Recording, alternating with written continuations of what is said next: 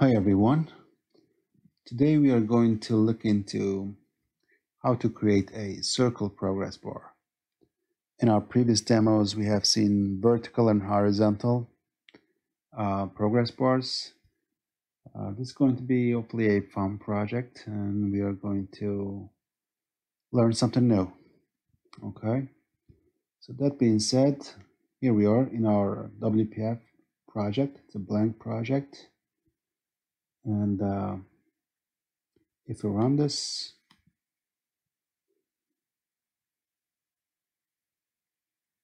we'll see we don't have anything yet so.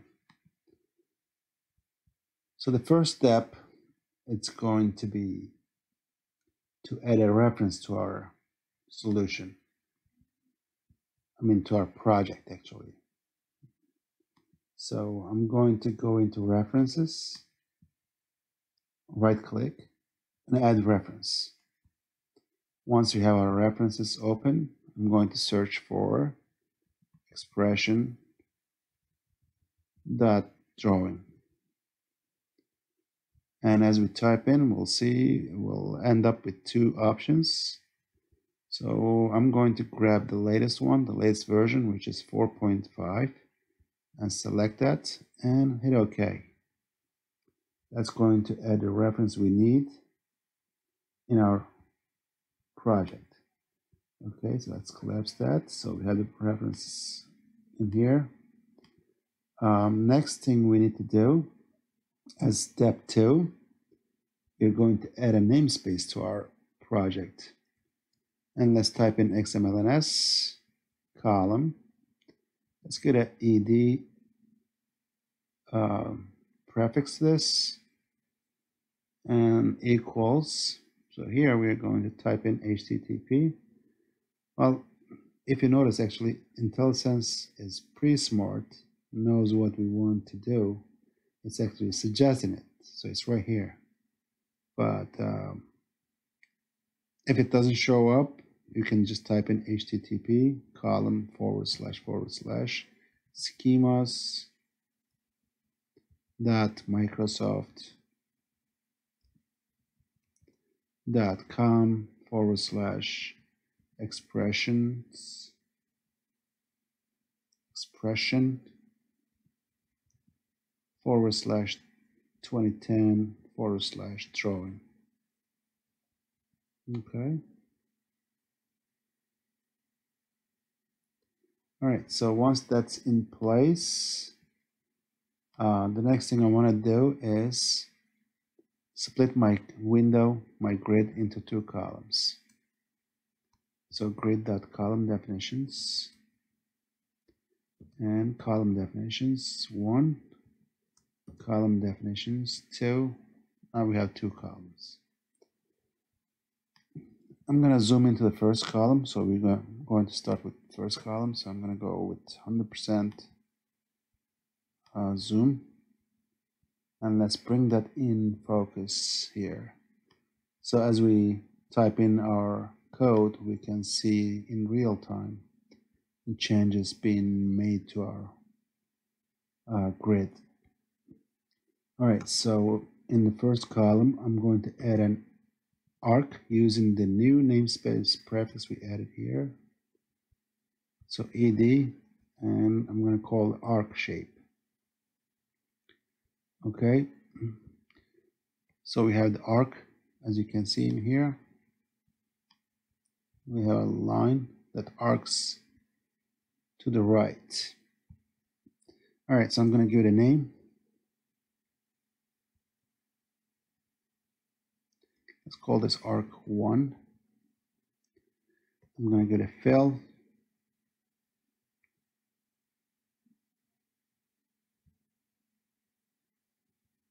let's get red color. And um, let's actually set the height and width. Height let's go with 300 and width 300 okay. All right then let's go ahead and set some of the properties that will be uh, um, significant All right, so the one of those is stretch. So I'm gonna set this to none. And as you can see, some changes are already being made here. Okay, so as we type in, you can keep an eye on, on this window, see what's going on. All right, so uh, stretch set to none. I'm gonna give it an arc thickness of 15. Now our arc is actually visible with color. Um, and then the next property I want to set is arc thickness unit. I want to set this to pixel. Okay. Um, so for actually let me set another one and that's what that's going to be the end angle. And I'm going to set this to 200 all right so our first arc is ready. I'm to copy and paste this.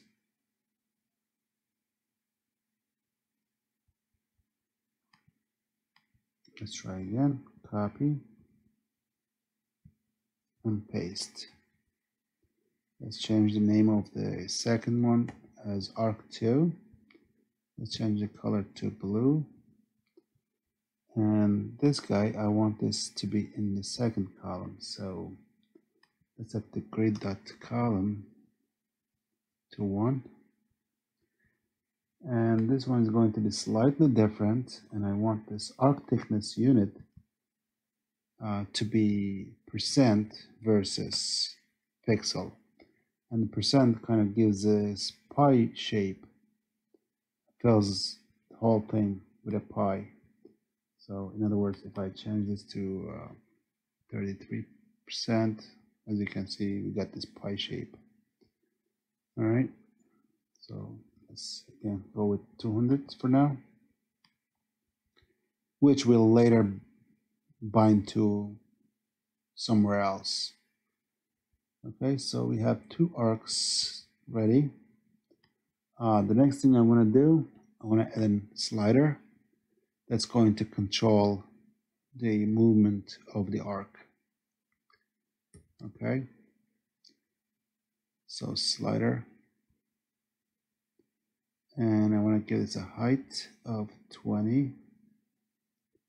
I want this to span two columns and I want this to be vertically centered. Okay, so I have the slider somewhere here. Okay, it's right here. All right, let's run this and make sure it builds and uh, doesn't break. Make sure there's no errors.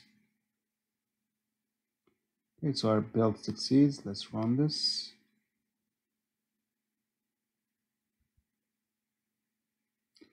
Okay, so we have our first arc and the second arc right here, blue. And we have a slider that works, well, kind of.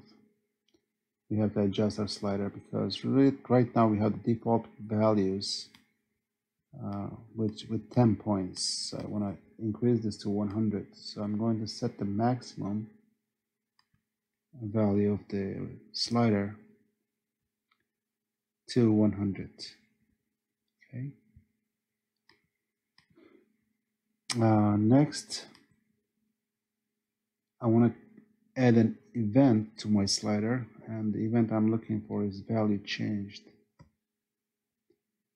Let's select that and let's go to definition. Okay, so here in, in the code behind file, in our slider value changed event handler, First, I want to grab the slider. So var slider equals, and let's cast this sender as a slider. Okay. And next, I want to set the arc one dot end angle to slider dot value times 3.6 so the angle the full angle of the uh, the full angle of the uh, arc is 360 and the maximum value of the slider is 100 so to get the full value we need to multiply it by 3.6 okay let's actually test this out real quick so if I run this and move my slider back and forth, I'll, the value of my first arc will change based on the slider value. Okay. I got a little adjustment here for the first slider. I want to remove that end angle because we no longer need that since we are bound to slider now. Okay.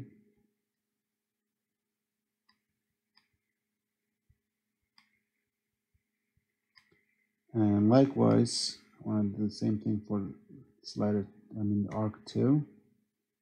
I'm going to add the code to do the same thing for that um, arc. So copy and paste this line of code and change the name from arc1 to arc2 and that should take care of it actually. Let's run this again.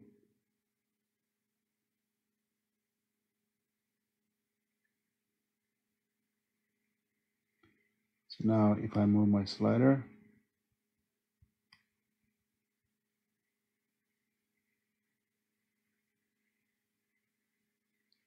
and both uh, arcs beautifully uh, moves back and forth as the slider moves. So you can add the logic to make this a uh, progress bar. I mean, right now, actually, it's almost ready to go. It's just that based on your application, you have to add some logic to it. But uh, other than that, it's good to go. Now, if you notice, by default, we have uh, like a quarter portion of the uh, arc visible. And the reason why is because there's a property called end angle. And the default value for end angle is 90. If I type in 90, you'll see nothing changes, but if I change this to zero, it'll disappear. And that's what actually we set in the background code behind file here. So Again, the reason we have that default view visibility, it's because of the default value of the end angle. And if we change this to uh, 5, you'll see we just have a little portion there. So um, if you don't want to see it during design time, you can set the end angle to 0 and that will uh, um, force it to disappear. So if I now run this again,